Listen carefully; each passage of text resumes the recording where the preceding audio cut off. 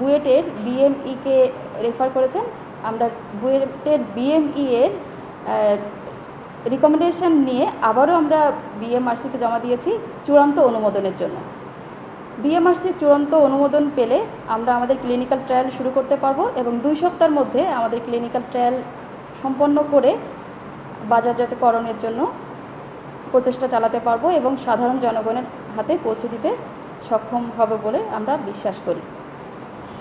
এই কিটের মাধ্যমে একজন করোনা রোগীর নিঃশ্বাসের মাধ্যমে যে করোনা ভাইরাস বাতাসে ছড়ায়, সেটা প্রতিরোধ করা সম্ভব হবে। এই কিটের একটা পার্ট হিসেবে মাস্ক আছে, যেটা ভেন্টিলেশন মাস্কের মতনই। এই মাস্কের মধ্য দিয়ে করোনা রোগীর করোনা ভাই, মুখ থেকে বা নাক থেকে যে ড্রপলেটের মাধ্যমে করোনা ভাইরাস, সেটা ডিভাইসের মাধ্যমে নির্মূল হয়ে বাতাসে করোনা ফ্রি বাতাসটা আমরা পাবো।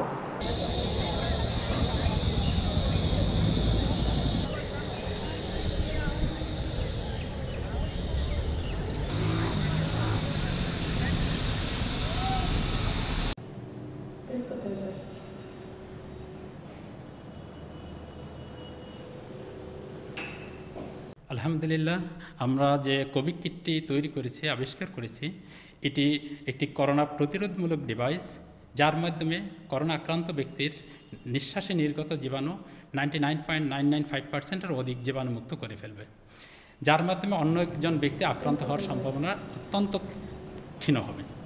এবং এটি যদি আমরা সরকারের সহযোগিতা এবং ইনোভেটিভ কোম্পানির সহযোগিতা পেয়ে যাই, আমরা এটা দ্রুততার সহিত জনগণের দৌড়গড়ায় পৌঁছে দিতে সক্ষম হব। এবং এটির দাম সাধারণ দেড় হাজার থেকে দু হাজার এর ভিতরে সীমাবদ্ধ থাকবে। আমি জানি মাননীয় প্রধানমন্ত্রী গবেষণা কাজে সবসময় উৎসাহ প্রদান করেন।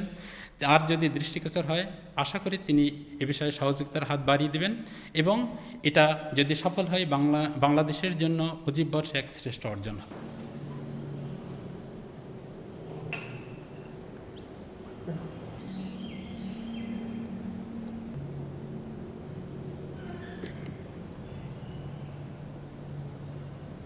এই যে আমরা যেটা জার তৈরি করতেছি এটা আমাদের যেটি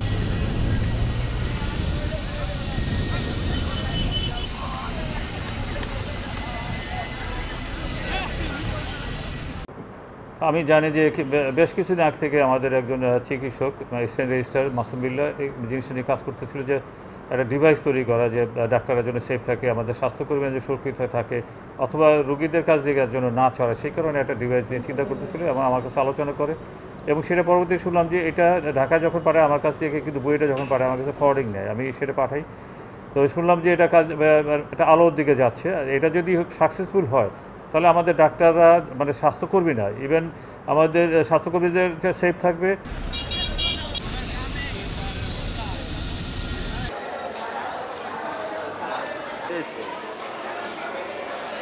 বিষয়টা অত্যন্ত আশাব্যঞ্জক এবং বরিশাল বিশ্ববিদ্যালয় এবং সেবা চিমের যে যৌথ উদ্যোগে বা যৌথ প্রচেষ্টায় যে কাজটি হলো, এটি সরকারিভাবে যথাযথ পরীক্ষা নিরীক্ষার মাধ্যমে যদি অনুমোদন দেয়া হয়, তাহলে আমার মনে হয় এটি আমাদের এই বর্তমান কোভিড নাইন্টিনের ব্যাপক প্রাদুর্ভাব জায়গা থেকে নিয়ন্ত্রণ করা সম্ভব হবে।